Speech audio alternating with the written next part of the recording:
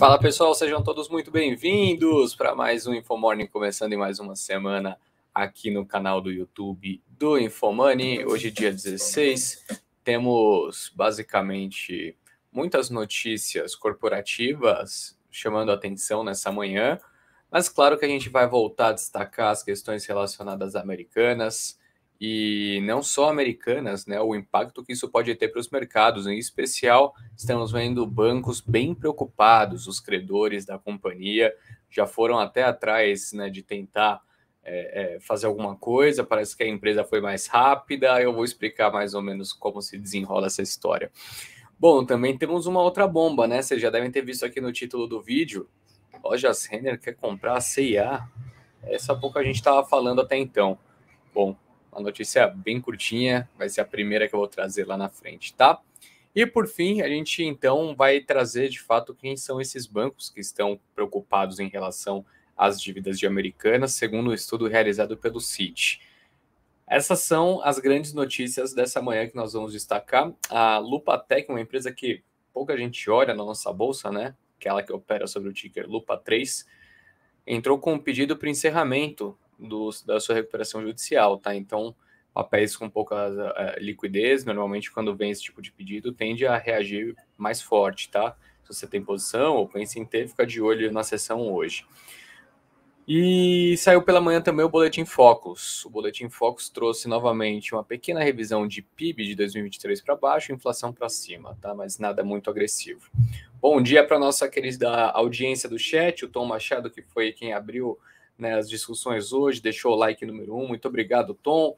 Valdemir Maronese, Player Extra Life, bom dia. Márcio Jardim também presente aqui. Salvador rumo a Itaparica, sensacional. Alexandre 07, Aurora P, Arquivo X, Sérgio Cirino, Rodrigo Couto, muito bom dia para você também, meu querido. Uh, Valdemir Maronese dizendo aqui sobre Americanas. que ia bater 4,50, fechou em 3,15. Edilene, Tamara, Masterplan, quem mais mandou mensagem? Ricardo Fuji, Edson, Fábio Leal, Anthony. Vem que eu te conto. Bom dia, investors. Bom dia para você também, Edson, Éder, José Ribamar, Bruno Neves. Sensacional, pessoal. Vamos começar o programa de hoje, que é segunda-feira, dia 16 de janeiro de 2023. Então pega o seu café com Infomorning, tá começando.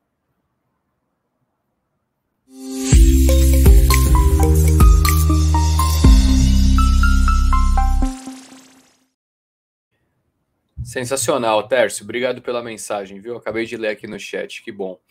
Bom, senhores, os índices futuros dos Estados Unidos iniciam a semana no território negativo após fecharem em alta na última sexta-feira, que foi dia 13, com os investidores então digerindo os resultados de grandes bancos e apostando que a inflação diminuirá em 2023. As bolsas em Wall Street, importante ressaltar, né? A gente fala sobre essa abertura negativa dos futuros, mas a bolsa à vista, os contratos à vista do mercado por lá, não vão negociar hoje. Os mercados em Wall Street permanecerão fechados em função do feriado de Martin Luther King Jr. Ou seja, quando isso acontece, a gente sabe que a liquidez dos mercados tende a diminuir, isso afeta né, o nosso mercado indiretamente. Já os mercados asiáticos fecharam com alta em sua maioria, enquanto as bolsas europeias também registram altas generalizadas, impulsionadas pelo arrefecimento dos dados de inflação dos Estados Unidos na semana passada, que elevou o otimismo dos investidores.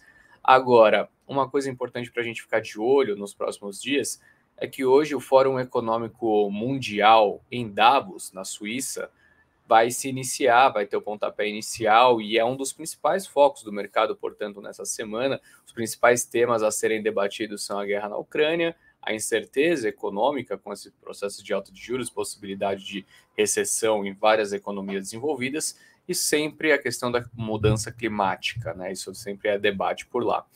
No fim de semana, a China relatou um aumento de quase 60 mil mortes por Covid desde o fim das restrições no mês passado. E esse anúncio veio depois que a Organização Mundial da Saúde, a OMS, criticou o país alegando que estavam subnotificando as mortes. Já parecia estar fazendo isso há um bom tempo, né? Uh, enfim, bom, isso teve alguns impactos que em breve eu comento com vocês. Por aqui, nos próximos dias, agentes do mercado acompanharão de perto os primeiros passos da implementação do pacote anunciado por Fernando Haddad, o ministro da Fazenda, na última quinta-feira.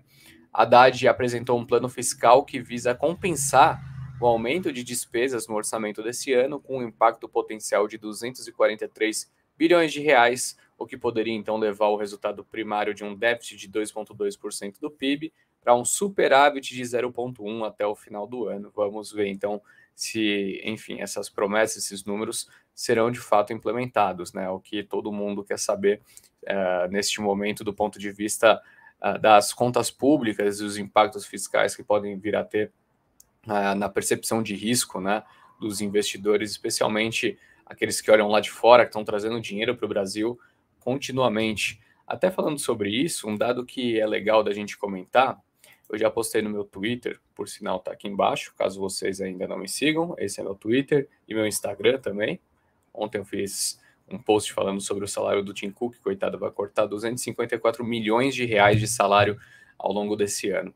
Mas o post que eu fiz hoje pela manhã, que eu acho que vocês podem se interessar, é a respeito de uh, os investidores estrangeiros né, ingressando na nossa bolsa. Apesar de tudo que aconteceu nesse começo de ano, a invasão à praça e aos prédios né, dos três poderes, uh, a questão relacionada às declarações do Lula, que já vem desde o ano passado trazendo um pouco de receio né, do ponto de vista fiscal. Enfim, a gente nota que os investidores estrangeiros continuam trazendo dinheiro para cá, especialmente o último dado que nós tivemos é referente ao dia 12 Dia 15 foi ontem, 14 sábado, 13 sexta, dia 12 quinta, né?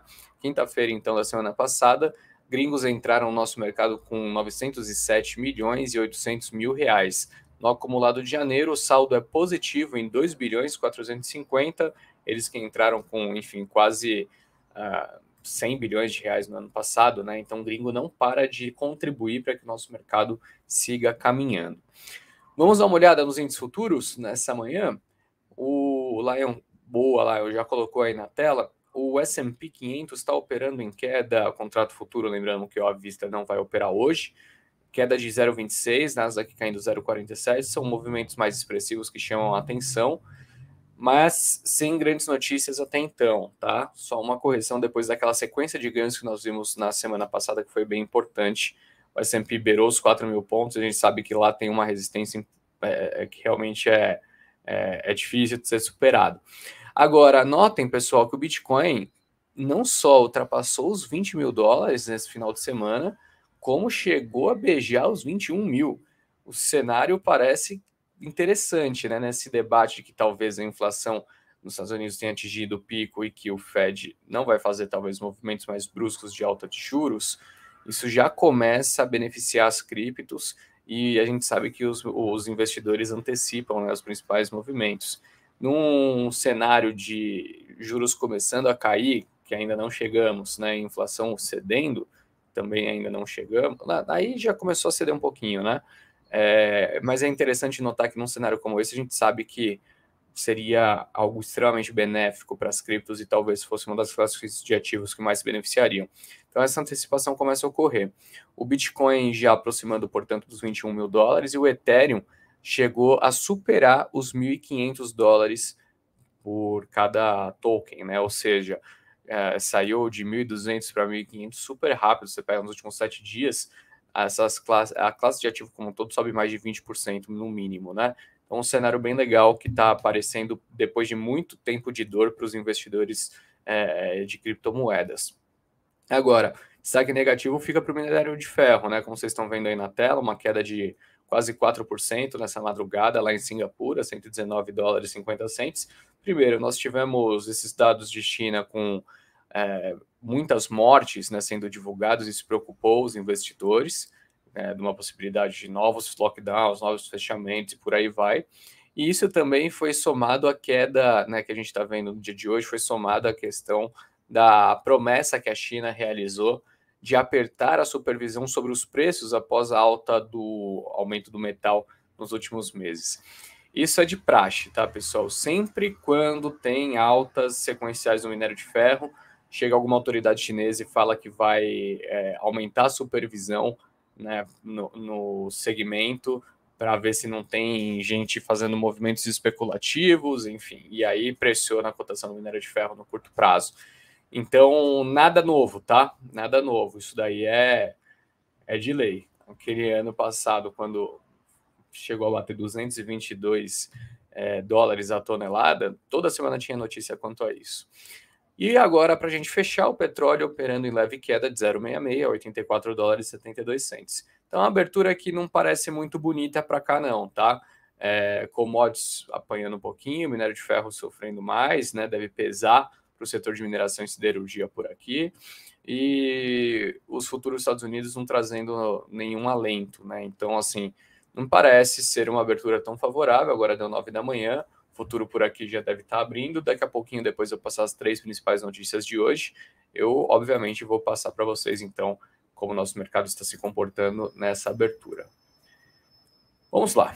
Uh, senhores, senhores, senhores, segundo o blog do jornalista Lauro Jardim, no Globo, a loja Renner está em negociações preliminares para comprar a CIA aqui no Brasil.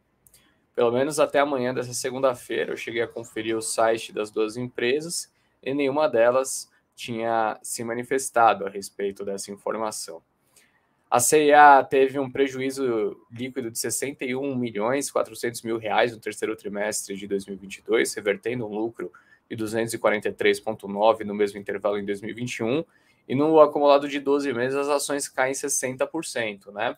A gente pega CAB3, veja só, uh, deixa eu pegar, quando que é isso daqui? Isso daqui, logo ali, ó, pouquinho antes da pandemia, negociava 17,50 a ação de CIA. Hoje ela negocia a R$ 2,43, tá? Caindo 86% desde o início da pandemia a empresa está valendo apenas 749 milhões de reais. Por isso que, na minha visão, assim, não me parece ser uma loucura né, uma notícia como essa. Claro que pode não ser verdade, enfim, é uma possibilidade. Mas a Renner atualmente está valendo quase 20 bi, a CIA valendo 700. A Renner conseguiria, de repente, fazer uma aquisição sem precisar né, fazer movimentos muito agressivos de alavancagem, enfim. Nesse mesmo período, as ações da loja Sender também caíram consideravelmente, tá? Caíram 63%, mas menos pior do que o cenário que impacta atualmente a CIA. Vamos acompanhar. Só saiu essa nota mesmo. As notícias do Lauro Jardim são curiosas, né? Quando ele solta uma bomba como essa, ele coloca só a frase assim: loja Sender quer comprar CIA, sei lá. A notícia é uma linha. Então a gente não tem mais detalhes a respeito disso, mas quando a gente olha né, para uma empresa valendo 700 milhões, outra valendo 20 bi, a diluição ali, de repente, para um aumento de capital, se necessário, né, para fazer um follow-on, para fazer aquisição, não seria tão absurda, tá? Bom, a segunda notícia que nós temos é. Bom, vamos voltar ao grande caso da semana passada, Americanas as Americanas publicou, ou a Americanas publicou um fato relevante em que comunica aos investidores a decisão do juiz Paulo Assede da Quarta Vara Empresarial do Rio de Janeiro, que concedeu uma tutela cautelar para suspender vencimentos antecipados e efeitos de inadimplência da companhia. Após essa decisão, o Tribunal de Justiça do Rio de Janeiro deu 30 dias corridos para Americanas entrar com pedido de recuperação judicial. E dentre as medidas conseguidas com a, tal, a tutela cautelar, a empresa lista a imediata restituição de valores que os credores eventualmente tiverem compensado, retirado ou se apropriado em razão da comunicação no dia 11 das inconsistências contábeis na ordem de 20 bilhões de reais. Segundo a empresa, a tutela de urgência foi ajuizada pelos administradores da companhia e de veículos de investimentos voltados à captação de recursos no exterior do Grupo Americanas. A empresa afirma que é, o pedido se deu em decorrência da descoberta dos fatos citados, no fato relevante do 11 de janeiro, quando a empresa, então, é, indicou essas inconsistências de 20 bi no seu balanço, e a Americanas disse que a medida tem como objetivo, então, propiciar a continuidade das suas atividades empresariais e viabilizar a proteção adequada do grupo enquanto busca, junto aos seus credores, uma alternativa viável à luz do cronograma de vencimento das suas dívidas financeiras. Então, abre aspas aqui, pegar a frase certinha utilizada né, declaração certinha usada pelo Grupo Americanas. Tendo em vista a urgência na adoção de medidas de proteção da companhia e das demais empresas do Grupo Americanas, a companhia julgou que a apresentação de pedido de tutela de urgência seria a medida mais adequada nesse momento para preservar a continuidade da oferta de serviços de qualidade a seus clientes, entre eles, né, mencionando aqui consumidores, sellers, merchants, uh, fornecedores, parceiros e o próprio time. Dentro dos compromissos assumidos com todos os seus stakeholders, preservar o valor da companhia e do Grupo Americanas e assegurar a manutenção da continuidade de seu negócio e sua função social. A companhia diz ainda que continua empenhada em manter conversas positivas com seus credores, visando ao atingimento de um acordo que seja benéfico a todos os seus stakeholders, tá?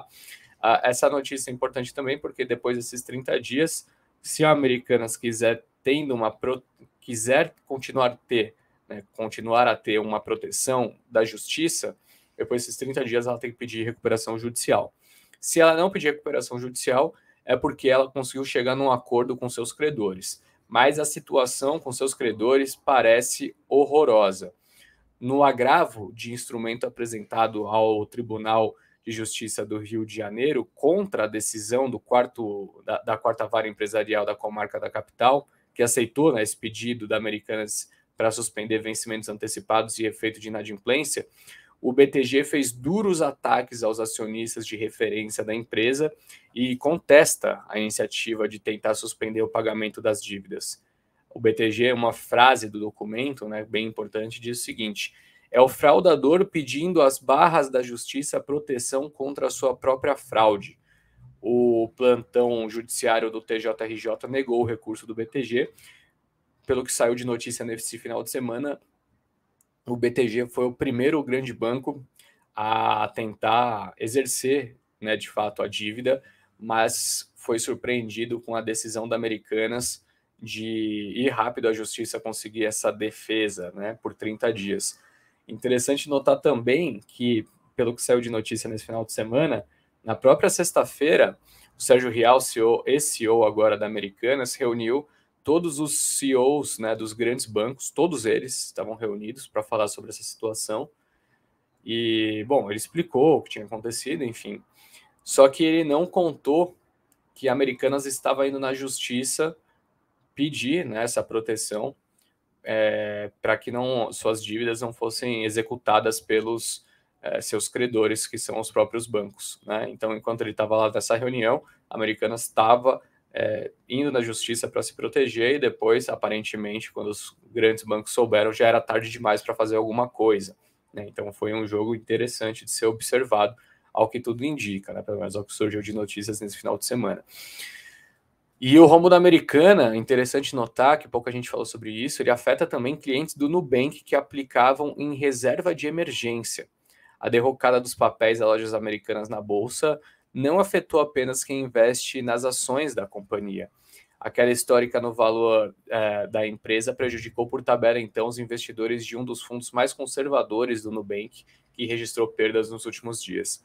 Com aplicação a partir de apenas um real, o Nu Reserva é, imediata, enfim, no reserva imediata tinha ali 1% quase 1% do seu patrimônio aplicado nas debêntures de lojas americanas e da B2W em setembro do ano passado, de acordo com o último dado disponível.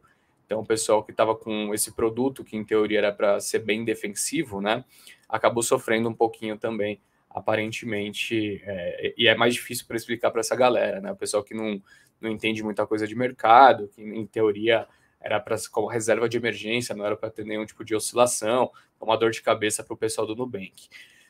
E só que essa dor de cabeça talvez seja bem menor do que a que vão passar principalmente Santander, BTG e Bradesco. O Citi avalia que o Santander, o BTG Pactual e o Bradesco são os bancos mais impactados nos níveis de lucro líquido e patrimônio com o caso da Americanas, que na visão da casa continua sendo mais um caso isolado do que uma tendência entre as empresas né, ali do setor, o que faz com que o impacto seja limitado no setor bancário. o impacto no lucro líquido para o nível de provisionamento é de 4 a 6,7% para o Santander, de 3,3 a 5,6 para o BTG e de 2,9 a 4,9 para o Bradesco. Já o impacto no patrimônio é de 0,7 a 1,1% para o Santander, de 0,6 a 1,1 para o BTG Pactual e de 0,4 a 0,7 para o Bradesco. É, o CIT diz o seguinte: Classificados por exposição, BTG Pactual com 1,6%, Santander 0,6% e Bradesco 0,5%, tem a maior exposição como percentual dos empréstimos. Os níveis mais baixos de exposição vêm do Banco do Brasil, tem apenas 0,1%, e Itaú 0,3%. Os analistas disseram, então, acrescentando que a avaliação considera dados publicados pelo Valor Econômico sobre a dívida permanente da Americanas com os bancos, além de estimativas do próprio CIT quanto à carteira de empréstimos do primeiro trimestre de 2023. Para os analistas do CIT, um acordo com credores no prazo de 30 dias tem mais chance de ocorrer do que a declaração de falência da Americanas, embora por meio de relações tensas atualmente com os bancos, né? Então, essa questão do relacionamento com os bancos vai ser uh, fundamental assim, para que não haja né, um agravamento dessa situação, a gente precisa ver os ânimos com os bancos se reduzindo. Se isso não acontecer em até 30 dias, mesmo com um possível aumento de capital, como a gente viu no final de semana, né? O pessoal da 3G dizendo que colocaria até 6, 7 bilhões de reais, isso aparentemente não será o suficiente.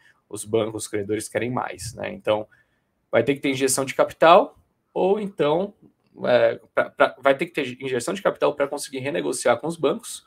Se não conseguir fazer nenhuma dessas duas coisas, né, e naturalmente não ter essa negociação com os bancos, a empresa deve pedir recuperação judicial em 30 dias. Perfeito, meus queridos? Vamos lá. Vamos dar uma olhada aqui então em como o mercado está se comportando nessa manhã. Só antes disso, um breve lembrete, pessoal. Hoje começa o Onde Investir 2023. Eu falei ao longo da semana passada inteira a respeito desse evento. Estamos felizes em anunciar que hoje teremos então o pontapé inicial de um dos eventos mais importantes do Infomoney para esse ano. Não deixe de aproveitar. Link sempre vai ficar disponível na descrição do vídeo, no chat, e com painéis de diferentes assuntos e painéis, é, enfim, que são com convidados muito representativos, né? A gente vai ter nomes realmente de peso. Eu estreio no Onde Investir a partir de amanhã, tá? Terça, quarta e quinta eu vou apresentar o programa é, lá, né, no, no Onde Investir, e até por isso eu não vou apresentar o Infomorning nesses três dias, vocês vão ter a honra de ficar aqui com o nosso querido Mitchell, tá bom? Maravilha. Vamos dar uma olhada, então, uh, em como está se comportando os índices futuros nesse momento. As perdas lá fora, pelo visto, diminuíram um pouquinho. S&P caía 0,26, agora cai 0,24. Nasdaq caía 0,47, agora cai 0,39. O Dow está caindo 0,13. Como eu disse, na Europa praticamente tudo sobe. E por aqui a abertura é negativa em uma queda de 0,5%. Eu disse, né, era muito difícil o mercado reagir bem nessa abertura, com o minério caindo quase 4%, petróleo recuando, futuro dos Estados Unidos também, né? Então, futuro do Ibovespa 111.436 pontos. Se a gente olhar, vamos ver aqui, USD BRL, basicamente isso é a doleta. O dólar sobe 0,25 para R$ 5,11. Vamos ver se o petróleo se mexeu em alguma coisa aqui. Brent cai 0,26 nesse momento. Ele subia, não, ele caía 0,66. Então, enfim, uh, piorou um pouquinho de fato. Vamos ver se no pré-mercado Petrobras já faz algum movimento cai 009 no pré-mercado PBR lá nos Estados Unidos. E Vale quando 0,16, sem grandes movimentos abruptos nessa manhã. Bom, meus amigos, foi um grande prazer tê-los aqui iniciando a semana comigo, mais de 450 pessoas ao meu lado. Peço encarecidamente, por favor, clica no like antes de ir embora, tá? Ajuda a gente aqui no InfoMorning e meio dia e meia a gente traz informações mais atualizadas sobre o mercado, com a bolsa já funcionando por aqui, no nosso programa, na sua hora do almoço, o Radar chega com tudo, portanto, ao meio-dia e meia, beleza? Grande abraço a todos, uma ótima semana, até mais. Tchau, tchau.